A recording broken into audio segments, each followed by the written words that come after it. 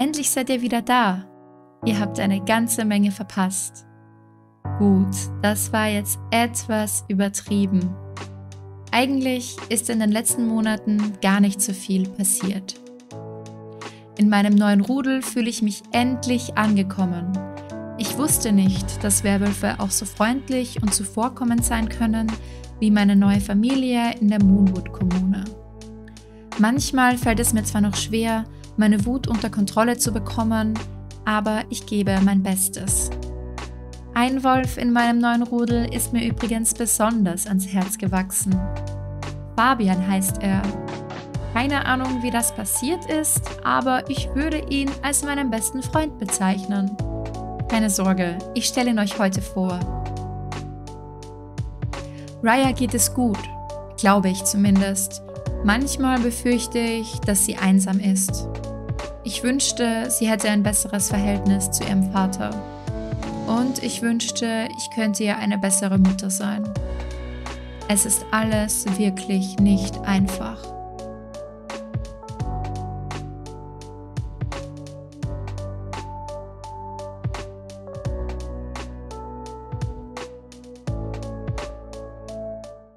Hallo, ich bin Elienix und das ist der 19. Part meiner Werwolf Challenge. Viel Spaß! Wie euch sicher aufgefallen ist, zwischen dem letzten Part und diesem Part liegt ein Zeitsprung. Das liegt ganz einfach daran, dass Iana ja von der Uni suspendiert wurde und wir die Challenge aber nicht wirklich weiterspielen können, solange sie nicht studiert. Deshalb habe ich eben ein paar Tage weitergespielt und heute können wir sie dann wieder an der Uni einschreiben. Außerdem hatte ich in den letzten Parts irgendwie das Gefühl, dass bei diesem Let's Play langsam die Luft draußen ist. Ich kann es euch auch nicht erklären, aber irgendwie möchte ich das Ganze jetzt einfach ein wenig beschleunigen. Aus diesem Grund mache ich mir übrigens auch schon jede Menge Gedanken, wie es nach diesem Let's Play weitergehen könnte. Also grundsätzlich hatte ich ja eine Werwolf Legacy Challenge geplant. Nachdem ich Werwölfe in Sims 4 aber ziemlich anstrengend finde, glaube ich nicht, dass wir noch eine Generation weiter mit Werwölfen spielen werden. Das heißt aber nicht, dass ich dieser Familie den Rücken kehren möchte. Also ich möchte auf jeden Fall mit einem Kind von Iana weiterspielen.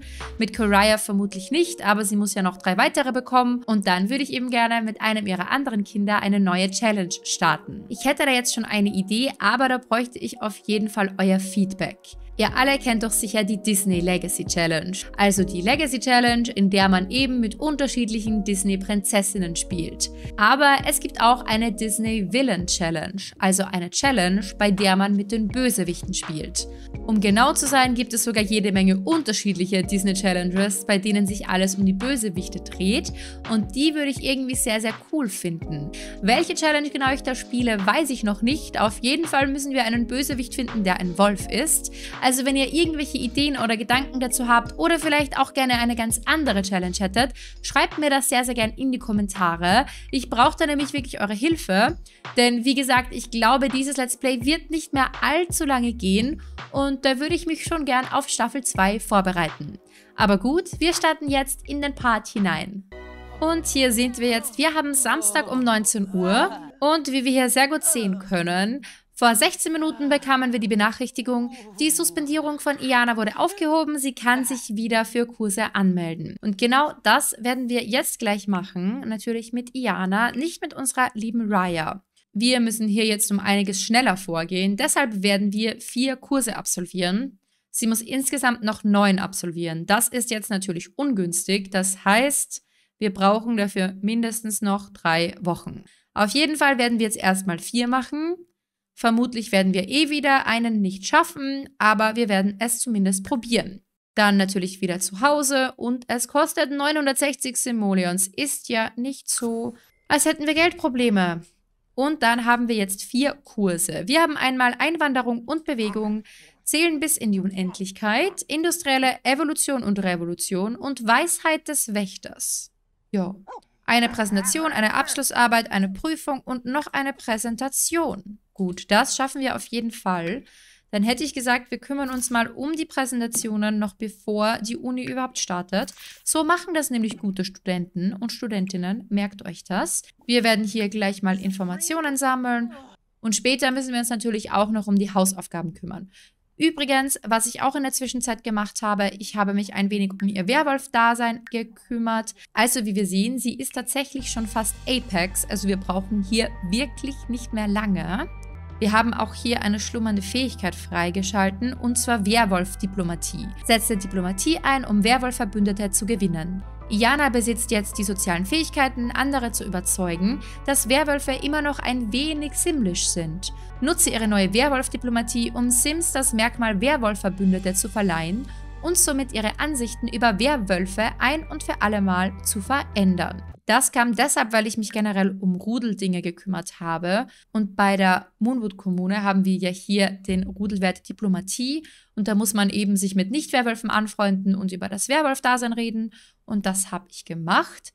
Außerdem sind wir hier auch einen Rang aufgestiegen. Wir sind jetzt tatsächlich Delta. Jana besitzt jetzt den Rang Delta und kann Omega-Mitglieder jetzt im Rudel unterrichten und maßregeln. Halte weiterhin die Rudelwerte ein, dann wird sie schon bald in der Hierarchie aufsteigen. Denn Teil der Challenge ist es ja, dass wir im Rudel Alpha werden und dass wir hier Apex werden. Also wie ihr seht, wir kommen mit der Challenge wirklich sehr, sehr schnell voran und deshalb müssen wir uns jetzt Gedanken um die nächste Generation machen. Und Jana braucht natürlich auch noch jede Menge Kinder. Ich weiß nur nicht, mit wem sie die bekommen soll. Denn irgendwie, ja, ist die Auswahl nicht so verlockend. Wir haben hier eben Lou, der uns nicht mag und den wir nicht mögen. Und ja, wir haben uns ja von ihm getrennt. Wir sind zwar schicksalhaft verbunden, aber es ist eine böse Romanze. Und er war im letzten Part auch so gemein zu Raya. Deshalb, also von dem will ich ganz sicher mal Abstand. Dann haben wir hier irgendwo noch den Alien-Mann. Genau, dann gibt es noch Mike der jetzt halb nackt ist, weil ich Custom Content aussortiert habe und anscheinend vergessen habe, ihm etwas anzuziehen. Nicht so schlimm, ich glaube nämlich auch nicht, dass er noch eine große Rolle spielt. Außerdem hat sie einen neuen Mann kennengelernt, der auch irgendwie jetzt auf einmal ihr bester Freund ist. Das ist dieser Fabian. Ich weiß nicht, wie er als Mensch aussieht und ich verstehe auch nicht, warum sie sich so gut verstehen. Aber er kam auf einmal, ich glaube, das war gestern, kam er vorbei und war so, hey Iana, wollen wir beste Freunde werden und irgendwie habe ich mich verklickt und jetzt sind die beiden beste Freunde. Vielleicht werden wir auch dem noch näher kommen, ich habe keine Ahnung. Aber jetzt ist erstmal die Uni unsere erste Priorität. In Ryas Leben hat sich tatsächlich auch nicht so viel getan. Sie ist in der Schule ganz okay, also sie hat ein Gut. Sie hat auch nicht wirklich mehr Leute kennengelernt, obwohl ich bei ihr immer auf Freundschaften schließen gehe, wenn sie in der Schule ist, aber irgendwie kennt sie nach wie vor nur Enrico. Naja, sie sind jetzt nicht sonderlich gut miteinander befreundet. Irgendwie ist sie auch nicht so sozial. Vielleicht hat sie das von ihrer Mutter. Dann kann sie mal auf die Toilette gehen, dann nimmt sie ein Bad und dann kann sie schlafen gehen. Wir haben zwar Samstag, aber es ist trotzdem schon fast 10 Uhr und ihre Mutter hat andere Dinge zu tun und aus diesem Grund kann sie schon mal ins Bett gehen. Und ich glaube, Iana wird sich jetzt die ganze Nacht noch um Uni-Dinge kümmern. Und wir haben jetzt 7 Uhr früh und Iana verwandelt sich mal wieder. Sie war tatsächlich schon länger kein Werwolf mehr, deshalb soll sie ihr Werwolf-Dasein genießen und einfach wieder Blödsinn machen. Wünsche dir sehr viel Spaß, Iana. Raya ist in der Zwischenzeit dabei, gerade Chips zu frühstücken. In diesem Haus läuft wirklich alles nach Plan. Raya, wenn du sonst nichts zu tun hast, dann könntest du eigentlich mal im Chatraum für Kinder chatten. Vielleicht findet sie dort eben Freunde. Ich glaube nämlich, dass sie ziemlich einsam ist. Weil außer Yoru und ihrer Mutter, die aber einige Probleme mit Aggressionen hat, hat sie nicht wirklich jemanden, auf den sie sich verlassen kann. Ich meine, seht euch mal die Beziehung zu ihrem Vater an. Die ist alles andere als gut. Übrigens, was ich noch vergessen habe, unser Yoru ist in der Zwischenzeit zum Senior geworden. Er ist jetzt tatsächlich schon ein älterer Hund. Und das macht mich total traurig, weil das heißt, dass wir nicht mehr sonderlich viel Zeit mit ihm haben. Und außerdem, Jana ist auch gealtert. Also fragt mich nicht, wie das passiert ist. Ich bin ins Spiel reingestartet und auf einmal ist sie gealtert. Sie ist jetzt auch schon eine Erwachsene und in 30 Tagen wird sie schon zur Seniorin. Also wir haben wirklich nicht mehr alle Zeit der Welt, dass sie noch Kinder bekommt. Und sie muss noch drei Kinder bekommen. Also fragt mich nicht, wie wir das dann machen. Wir brauchen ja auch mindestens noch drei Wochen, um die Uni abzuschließen. Also das ist Woche 1, Woche 2 und Woche 3. Und dann Nummer zwei Wochen und dann wird sie zur Seniorin. Also ich glaube, in dieser Woche konzentrieren wir uns jetzt mal total auf die Uni und in der nächsten Woche werden wir uns vielleicht um neue Männer kümmern oder zumindest schauen, dass sie jemand Anständigen kennenlernt, mit dem es vielleicht einmal ein bisschen besser läuft als mit ihrem Ex-Freund. Wobei, wenn ich sie dabei beobachte, wie sie Sachen zerstört und durchdreht, dann glaube ich irgendwie doch, dass Lou und sie füreinander geschaffen sind. Ja, Jana, super, mach den Hocker kaputt. Raya, wen hast du denn kennengelernt? Oder lernt sie hier überhaupt jemanden kennen? Ich habe keine Ahnung. Ich verstehe es nicht ganz. Ich glaube, sie lernt da niemanden kennen. Kannst du sonst keinen kennenlernen? Chatten mit. Ah, okay. Ja, dann chatte mal mit Enrico. Sie ist jetzt auch wütend, weil sie ihre Fangzähne bekommt, weil ein kleiner Werwolf ist. Koraya Juna jammert nicht grundlos herum. Das tut wirklich weh. Oh, arme Raya. Diana läuft irgendwo in Moonwood Mill herum und macht wieder Dinge, die nur Iana versteht. Ich wünsche dir ganz, ganz viel Spaß. Raya wünscht sich tatsächlich selbstsicher werden. Du hast es drauf, sieh dich doch nur an, du bist fantastisch. Sorge dafür, dass Koraya Yuna selbstsicher wird. Lass Koraya Yuna dazu trainieren oder am Spiegel eine Rede üben. Ich glaube, das werden wir jetzt machen, weil ich finde das unglaublich cool dass Iana so ein selbstbewusstes Kind hat. Deswegen wird sie jetzt hier am Spiegel einmal eine Rede üben. Oh nein, sie hat den Computer kaputt gemacht. Da wird sich deine Mutter aber freuen, wenn sie von ihrem Werwolf-Trip zurückkommt. Und Iana ist wieder ein Mensch. Das ist wirklich sehr, sehr schön. Dann kannst du mal nach Hause kommen und etwas für die Familie machen. Sie wird jetzt einmal ein Frühstück zubereiten. Immerhin hat ihre Tochter Chips gefrühstückt. Ich glaube, das ist nicht die beste Mahlzeit für ein Kind werde irgendetwas Fleischlastiges zubereiten. Immerhin sind sie Werwölfe. Dann frühstücken sie einfach Rührei mit Speck. Sie wird jetzt eine Familiengröße machen und danach müssen wir auf jeden Fall den Computer reparieren. Und ich glaube, wir werden dann auch noch weiter Dinge für die Uni machen. Wer bist denn du? Ach, Fabian ist da.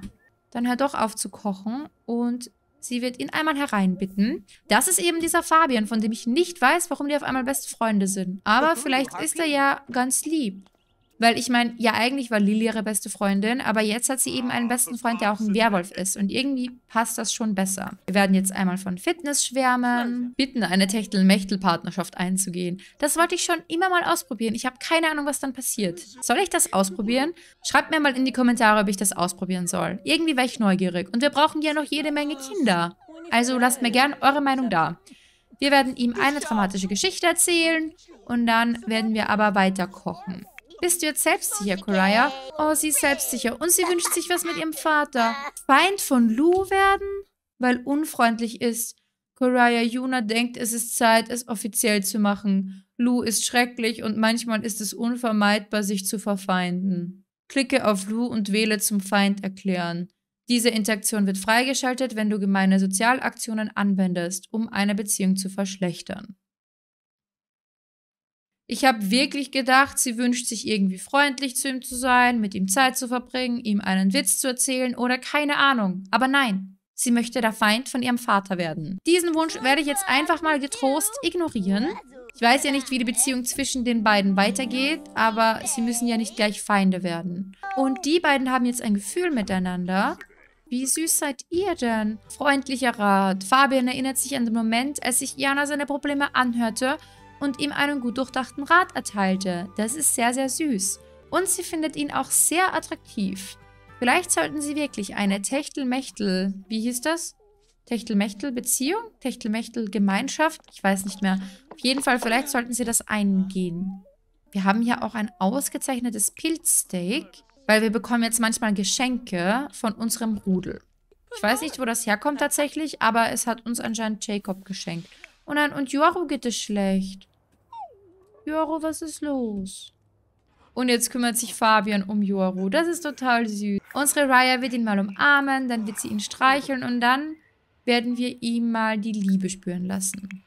Und dann kann aber auch sie mit ihrer Mutter frühstücken. Wow, und dann muss Iana mal alle möglichen Dinge im Haus reparieren, denn sie hat jetzt auch noch den Herd kaputt gemacht und hier oben auch noch den Computer. Werwölfe sind wirklich anstrengend, weil sie machen immer alles kaputt. Und so schnell ist der Tag dann auch schon wieder vorbei. Wir haben 22 Uhr. Iana ist gerade dabei, die letzten Hausaufgaben tatsächlich fertigzustellen. Also sie hat heute wirklich im Express-Modus gearbeitet. Oder beziehungsweise ich habe sie im Express-Modus arbeiten lassen, weil wir können nicht schon wieder von der Uni suspendiert werden und wir müssen unser Studium endlich abschließen. Danach wird sie sich noch an die Präsentationen machen. Es geht ihr nämlich ziemlich gut. Und unsere kleine Raya ist tatsächlich auch schon im Bett. Der gesamte Tag war nicht mehr sonderlich ereignisreich. Fabian war noch eine Weile da und sie haben sich noch ein wenig mit ihm unterhalten. Raya hat ihn auch kennengelernt. Dann haben wir uns noch ein wenig um Yoru gekümmert. Und das war's eigentlich. Und Iana ist schon wieder wütend. Wie könnte es anders sein? Du kannst hier mal Informationen sammeln. Sie ist sehr wütend, weil sie muss überwintern. Iana möchte sich zusammenrollen und stundenlang schlafen. Ansonsten wird sie ein wenig griesgrämig. Alles klar, Iana, das tut mir auch sehr, sehr leid, aber du hast einiges zu tun. Und so werden wir diese Nacht genau wie die letzte Nacht verbringen.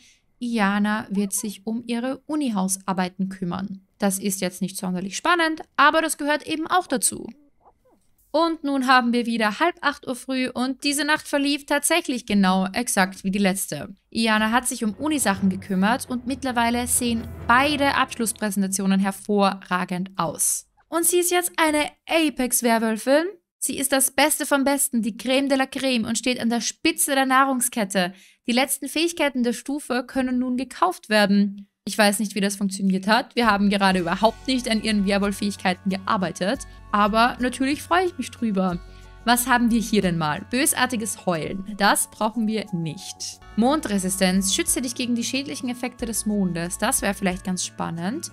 Tunnelgräberin. Bewege dich schnell in der Weltfahrt, indem du Tunnel gräbst. Bohre dich durch die Erde und grabe einen praktischen Tunnel. Perfekt für alle, die einen großartigen Auftritt hinlegen möchten oder schnell verschwinden möchten. Iana wird das mühelos hinbekommen. Dann haben wir noch Urinstinkte. Lass seinen Instinkten freien Lauf, damit deine Zufriedenheit ansteigt. Wer braucht all die unnötigen Gefühle? Ein Werwolf zu sein, der seine Urinstinkte aktivieren kann, bedeutet, das Biest im Inneren zu kanalisieren, um die Gedanken auf das Wesentliche zu konzentrieren. Ein zufriedener Werwolf zu sein, der andere negativere Gedanken verdrängen kann. Irgendwie klingen die Urinstinkte ganz nett, aber die Mondresistenz auch. Aber schauen wir uns mal die obersten Sachen an. Mega Tempo, laufe extrem schnell. Nutze deine Werwolfmuskeln und zische durch die Gegend. Iana kann das Megatempo jetzt jederzeit aktivieren. Laufe dem Postboten hinterher, flitze in den Wald, die Möglichkeiten sind endlos. Alpha-Wölfin, gewinne die meisten Kämpfe und Herausforderungen gegen andere Werwölfe. Die winselnden Jungtiere stehen jetzt unter deinem Kommando. Als Alpha profitierst du von einer schnelleren Rudelentwicklung und genießt die Freuden, ein Rudel anzuführen. Außerdem erzielst du im Kampf gegen andere Werwölfe bessere Ergebnisse. Und wenn du Greg begegnest, zahle es ihm mit gleicher Münze heim. Also ich glaube, das brauchen wir tatsächlich. Immerhin muss Iana Alpha vom Rudel werden und außerdem müssen wir uns auch noch ganz dringend bei Greg rächen. Und bei Rory will ich mich auch rächen. Ich glaube, Iana wird in diesem Let's Play noch sehr oft gegen irgendjemanden kämpfen. Hier haben wir noch unsterbliche Wölfin, lebe ewig. Es ist endlich vollbracht. Solange der Mond aufgeht, wirst auch du dich erheben? Das klingt sehr, sehr spannend. Vielleicht sollten wir uns das überlegen, wenn sie dann eine Seniorin ist. Mond heulen. Heule im Mondlicht, um dein Naturell zu verändern. Das verbotene Heulen. Lass die Reste der Simmlichkeit von Iana abfallen indem sie im Mondlicht badet, aber sei gewarnt, sie wird nie wieder dieselbe sein. Davor habe ich ein bisschen Angst. Was haben wir noch? Vermächtnis des Lykaners. Tausche Fähigkeitspunkte gegen Zufriedenheitspunkte ein. Das Abenteuer von Iana als Werwölfin nimmt kein Ende. Wenn sie weiter aufsteigt, kann sie ihr Werwolfwissen gegen 250 Zufriedenheitspunkte eintauschen. Finde ich jetzt nicht so notwendig. Ich glaube, als zweites nehmen wir noch die Mondresistenz. Aber wie immer, wenn ihr findet, ich sollte andere Fähigkeiten nehmen, schreibt es mir sehr, sehr gern in die Kommentare. Und es würde mich auch sehr interessieren, wie das mit der unsterblichen Wölfin funktioniert. Also ob sie dann wirklich als Sim unsterblich ist. Wenn ihr da mehr wisst, schreibt mir das natürlich auch sehr gern in die Kommentare. Ein Ziel des Let's Plays haben wir dann auf jeden Fall schon abgeschlossen. Unsere Iana ist tatsächlich Apex. Und wir schicken Raya allein in die Schule und Iana muss auch gleich in die Uni. Und sie hat die Hausaufgaben mit. Perfekt. Also ich glaube, der erste Unitag, der wird jetzt laufen wie geschmiert. Sie hat heute auch tatsächlich nur einen Kurs.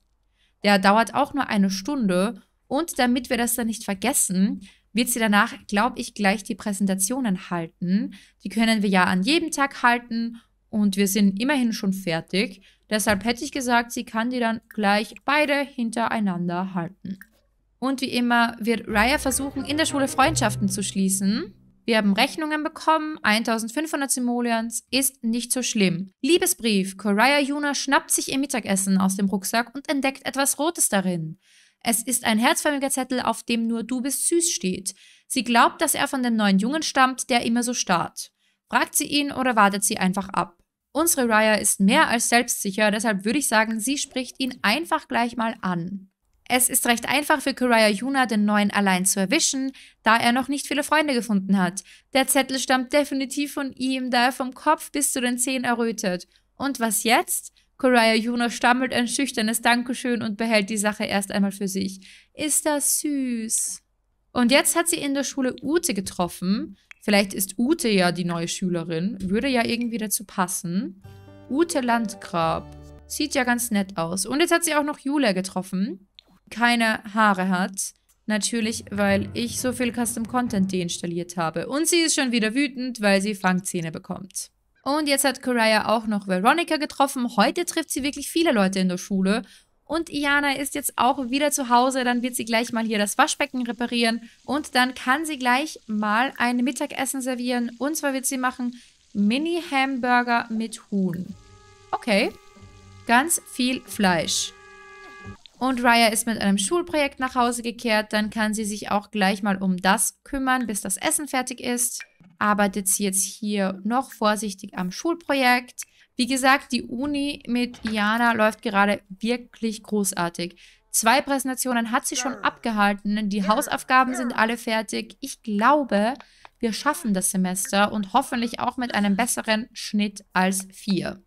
Was meint ihr? Schaffen wir es diesmal? Schreibt mir eure Meinung sehr, sehr gern in die Kommentare. Ich werde mich auf jeden Fall bemühen. Aber ich glaube, an dieser Stelle werde ich den Part dann auch schon beenden. Vergesst ja nicht mehr in die Kommentare zu schreiben, wie wir in der nächsten Generation vorgehen sollen, also welche Challenge ich spielen soll, ob wir wirklich eine Disney Villain Challenge angehen sollen. Schreibt mir eure Meinungen und Ideen gerne in die Kommentare.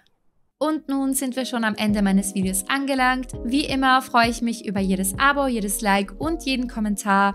Und ich hoffe, wir sehen uns in meinem nächsten Video wieder. Bis bald!